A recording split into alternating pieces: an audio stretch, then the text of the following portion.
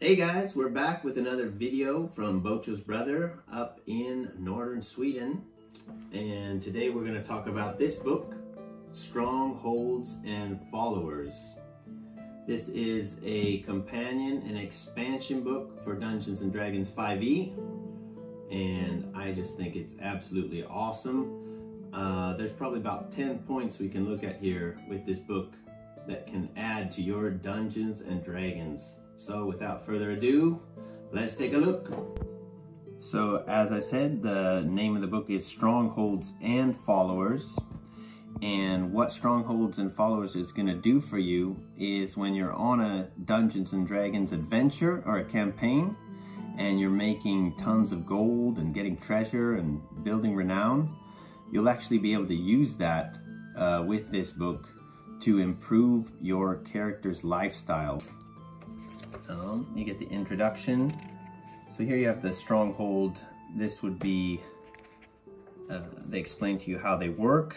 The strongholds level up. Um, as a fighter or a barbarian, you would get something like a keep. And the keep can also be something such as a barbarian camp. And uh, these these strongholds will give you units and uh, helpers. I really liked it how in the Critical Role campaign, I don't know if you're watching that, but you'll see if you uh, watch through Critical Role that uh, the player characters are actually making friends, getting NPCs, and uh, in one episode, for example, they got a pirate ship. They were on a pirate ship for a while and so this just gives you the mechanics behind how that could work to have a pirate ship or to have a location where you're keeping your treasure, a place, a base, a place of residence. And so these first pages, here's the uh, Mage Tower or Wizards. The Warlock could also use a tower. And in the tower, you'll be able to make things like uh, your own spells um, and do some really cool stuff. Uh, warlocks and clerics would be able to um, call upon the gods for helpers, uh, which is really super cool. Depending on your alignment, you're either going to get more devilish, wicked creatures, or if you're of more of a good alignment, you might get a seraph angels coming to help you out in your adventures. Okay, and as you continue on, you have the Ranger's Lodge, the Rogues Tavern. Now this is the one we used in the Dragon Heist, the Rogues Tavern. And then we were using some of the NPCs from the Dragon Heist who were uh, like a half-orc um, archer, uh, an elven bard, and these characters, they were able to help the party out and as members of this uh, Rogues Tavern. The Wizards Library.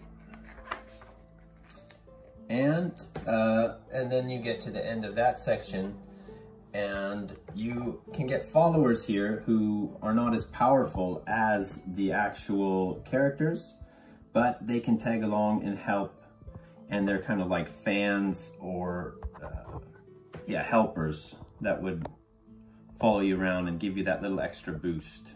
Another one you can get though is if you roll high on this follower chart, you can get an ally and the ally is actually more powerful than your character. It could be a storm giant, it could be a uh, ghost, it could be a dragon, it could be a demon. Here you get that list that you would roll on. So even more than having these followers help you along in your campaign, what I found coolest about it is if you have maximizers or overpowered characters that are in your group, in your adventuring group, um, maybe they've combined polearm mastery with the half-orc and the barbarian, and they're doing hundreds of points of damage per round and you've created some character that's a little bit more along the uh, vanilla road, um, what you can do instead of having to copy that and create another polearm master that has all the added effects, you can just add a follower to that character to make them feel just a little bit more powerful and have a little bit more uh, say in what happens in combat and battle. So as a DM, you may be thinking, hold on a second, now my players are going to become completely overpowered and the campaign's going to be ruined because they're just going to crush everything. But they thought of that here in Strongholds and Followers, and they also have provided villain strongholds with upgrades to your monsters and their strongholds with their lair actions and extra abilities that they will be able to utilize against the characters in places like the sewers, in the desert hideout, in the dungeon, and in the mountains. Wherever your campaign takes place, you have your monsters, they have their domain, and they're going to protect it with everything they've got. And now the fifth element of the book is you're going to get a whole new slew of monsters that they've created specifically for that campaign. But they've also created a whole new set of monsters and gods that can be used um, either in your Strongholds and Followers adventure or when you combine this book with other adventures or your own homebrew. And they've come up with some pretty amazing angelic uh, creatures as well as devilish and demonic ones. And you're just briefly gonna get a little taste here of the artwork and how that, that works. So we're up to the sixth part of what you're getting out of this book. New monsters, new ideas, new fascination for your Dungeons & Dragons 5e campaign. So we're at the end of that monster section, and just when you think it's over, you get gemstone dragons.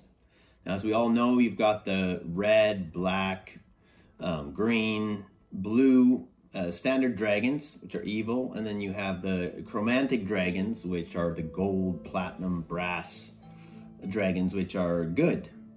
In this book, you're going to get a whole new kind of dragon. That's a neutral kind of dragon, so it can either go on your side or go against you. They're gemstone dragons. They are very powerful. And I'll tell you what, they have psionics. So if that doesn't blow your mind, I don't know what will because we don't have psionics yet in 5e. And with this book, you're going to get about 12 new uh, psionic abilities, maybe more. You get to have your mind blown one more time, one last time, with these inexorables. The inexorables. Not sure if I'm pronouncing that correctly, but these are kind of gods of different things like death, change, time, fate, destiny, this kind of thing. And at the very end, they ex explain how you can use that war um, style of play that I talked about earlier, where you, you're gonna print these cards out and you're able to have some really major battles. I would definitely think about using this in Dark Sun which is another one of my uh, favorite campaign settings um, using this battle technique. And you would find out about that in the book. We're up to the ninth thing here, where you're getting new magical items, very powerful items, codex, and weapons that you would use depending on your alignment. You're gonna get a weapon, and some of these weapons, they hit, and when they hit, you get a chance that uh, some creature that's from your alignment would uh, pop out, spring out from the weapon and help fight with you for about a minute in a battle. And with the combat system here, you can really go on some pretty epic campaigns and adventures.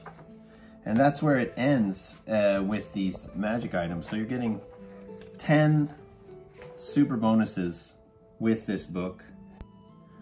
So that's it, everybody. Strongholds and followers. It runs for about 30 to $50. I will include the link here below and you should really check it out. I think it's the perfect component to add to any fantasy adventure Dungeons and Dragons 5e campaign you're running. It's going to give you something to spend your gold on. It's going to give you new magical items, a new optional warfare system, and an amazing keep or stronghold or establishment tower, temple to um, go home to and to keep as your base camp. Look forward to seeing y'all again sometime soon. Bye for now.